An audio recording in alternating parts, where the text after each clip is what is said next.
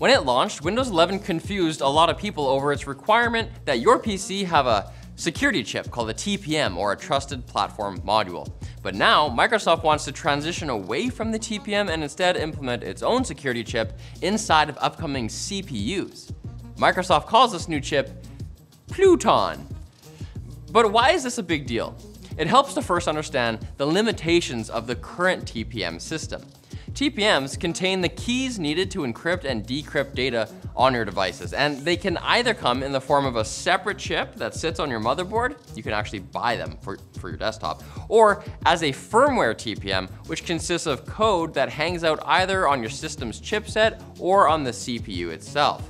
Most CPU platforms manufactured these days have some form of firmware TPM built in, hence the reason Microsoft says you're probably okay to upgrade to Windows 11 if you have a recently built PC. But TPM is far from perfect. It's certainly better than nothing, but it turns out it's not particularly hard to defeat if an attacker knows what they're doing. A key weakness can be found in the connection between the TPM and the BIOS. You can actually connect a sniffing device to the pins on the TPM chip and obtain the key you're looking for in a matter of minutes. Of course, you need physical access to the target PC in order to pull off an attack like this, but seeing as how the TPM was meant to help protect computers, even if a miscreant had physical access, it's a pretty big liability. But say you're running a firmware TPM implementation, well, these can still have their own vulnerabilities. The well-publicized Spectre and Meltdown exploits have shown that attackers can grab data directly off a CPU. Even if that data is subject to enhanced security, it can still be obtained, such as in the Platypus attack that bypasses Intel's software guard extensions, or SGX. This feature is supposed to create a secured area of the processor, but not only does Platypus defeat it, physical access isn't even required to attack the secured area.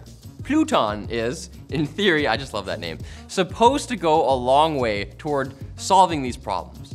Pluton doesn't use a separate chip at all. Instead, it's baked directly onto the CPU die, so there isn't a risk of snatching data off a communication bus like you can with a discrete TPM module.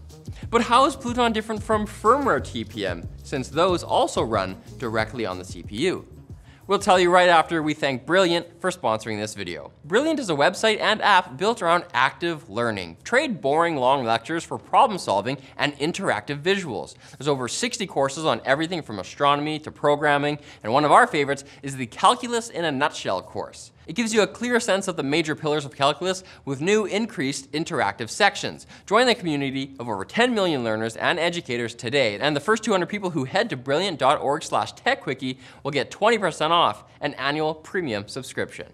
So a firmware TPM runs its code on the same main CPU cores that run your other programs. So a successful attack on something else the CPU is running could compromise the firmware TPM. Pluton, on the other hand, works by adding additional hardware that's on the CPU die but is separate from the main processing cores, making it more difficult to attack, even if the bad guy has physical access to the computer. Additionally, Microsoft is going to be responsible for issuing firmware updates for Pluton rather than motherboard manufacturers, who typically release new firmware versions much less frequently. This should help keep computers safer from new and evolving threats. The first PCs with Pluton built in should start hitting store shelves in mid-2022, but Pluton actually isn't even brand new. The chips have actually been used since 2013 in Xbox consoles to make it harder to play pirated titles, which actually brings us to a concern some users have about Pluton. Some fear that Microsoft could use Pluton to lock down PCs and exert too much control over what consumers can and cannot run on their own machines. We do know that CPUs with Pluton will work and run on Linux, but if you want Pluton's extra features, the specific Linux distro you're using would need to be, enable support for those. So the only time will tell if these concerns about Pluton are warranted, but I'm sure we can all agree that we trust Microsoft, right? They made Vista.